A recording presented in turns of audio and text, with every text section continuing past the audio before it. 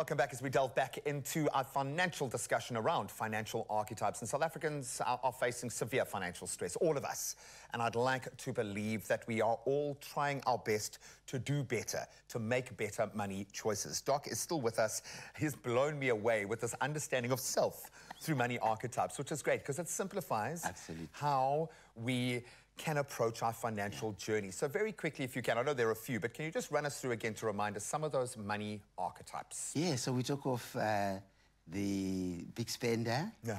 We talk of the gifter. We talk of the carer. We talk of the big shot.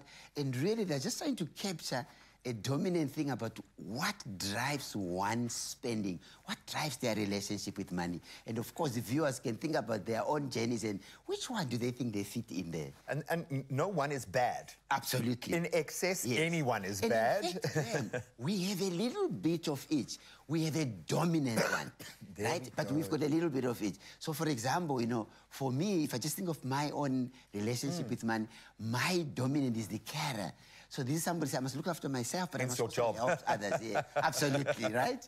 So we have a dominant one. Um, I love it. I think I'm a bit of a dreamer. Yeah. I think I've always been a That dreamer. was so awesome. sphere. Yeah. so how do I use my skills to generate income? That's the Yeah, and how do I use my income? Because I want to be rich so I can do correct. more good. With it's as simple as that. yes. It's, I get that. All of that being said, these are wonderful notions. How do we change? How do we change? No, It how do we hard. how do we maximize the good and do less of the bad? How do we address this? I think three key, three key things for us. So a lot of research we do around people and money at Nedbank has shown us the following. One, it's very difficult to change on your own. Okay. Right? So you need some sort of accountability partner, Graham. So think about any change that you have done in your life. Just having someone who holds you accountable to what you said you're going to do. sure. When we bring it to finances, often it's just finding a financial planner, someone who's in your corner, someone who's rooting for you, someone who said, You said you're going to save, you said you're going to do the following. Let's just make sure you're doing. So any to it, your financial planner yeah. would be able to do that. We've got amazing financial planners at Nedbank. If you look at the second thing, for example, is coming back to reflecting on what I do with my money. In other words, the more I think about what I do with my money, it confirms I'm a gifter, I'm a carer. Sure. What excess is? What's the dark side? I'm sorry to bring in the dark side, No, right? but you have- because what that is can- the dark side of my money archetype? So as we look at that, you know what is the dark side, and you are able to change. You've got that warning light that comes on, whether it's intuitive or whether it's very obvious in your apps, whatever, however you And set can that I up. tell you, yeah. Where you see that as my third offer? It's your credit report. Mm. Because the credit report doesn't lie. Yeah. It tells you this is where you are swiping, this is where you are spending. So by looking at your credit report, you also can see, my goodness, indeed, this is my money archetype. This is what I can do about it only if it's excessive. It's just confirming who you are. There's nothing wrong with that.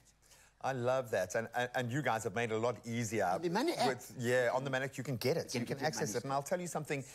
Not so lucky when you're going through the tough times, Yeah. but when you've done, when you've made the right choices, when you've kind of reached these milestones, and you start to see a good credit kind of profile. There is, it is like the ultimate validation. It's like I'm a grown-up and I'm doing what I'm supposed to be doing. Absolutely. I love this. We are not alone. We are often within family models. We are often combining money archetypes together as partners. Couples. Yeah. so there's, and often we're in an environment With that's others. with others. You're never alone.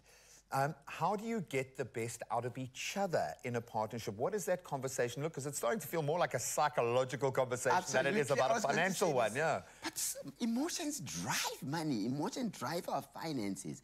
So you spot on the in relationships. It's very important to know each other's money archetype because a lot of arguments within couples are about money, sadly. And it's often simply driven by not understanding. Imagine you've got a carer, right? And you've got the big shot. Yeah. Can you imagine in that partnership, in that couple, if you don't know that's what's driving it, it can lead to a lot of argument. So, in a non judgmental way, just talking about my dominant one is the big shot. It's not necessarily wrong. The other person, my dominant one is penny pincher. How do we make it work together? Even in friendships as well. Because it's important to understand among friends sure. when we go out and perhaps we see someone who's spending all the time to try to pull them back. to rein them back in. And it's and it's not to say I would I would suggest a good way when you want to take the judgment out is don't start with you telling the other person what their negative money habits uh, are. yes. Rather start with your own. Explain Yes. what you makes you nervous once you've discovered your own archetype and help your partner maybe discover their own. And then it's like you won't send a, a quarterback in to, to go and punt. You know, you, you horses for courses. You get the right person in your relationship, like a business, to be able to handle that. I love that.